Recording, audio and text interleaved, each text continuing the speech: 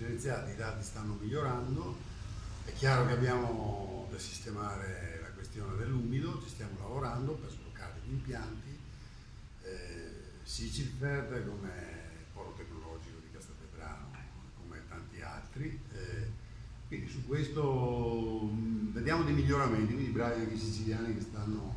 Il problema rimane città, ma abbiamo intavolato anche qui una sana dialettica, poi il ministro ieri ha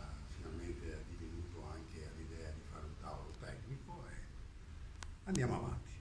Ho capito. E nelle città eh, quando si prevede si potrà cominciare, nelle principali città siciliane, ad avere la differenziata? Allora, beh, Catania adesso fa più la proroga dell'appalto ma ha bandito una nuova gara sistemando alcune cose. Catania era più indietro, parliamoci chiaro, ma non per colpa loro perché evidentemente stanno pagando lo scotto di tutta la gestione